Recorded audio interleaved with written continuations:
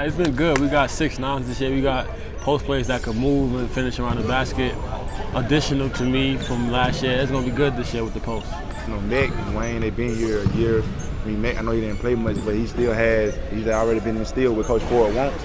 So I mean, the post play has been great. I mean, he's just gonna be physical, be ready, and be prepared this year.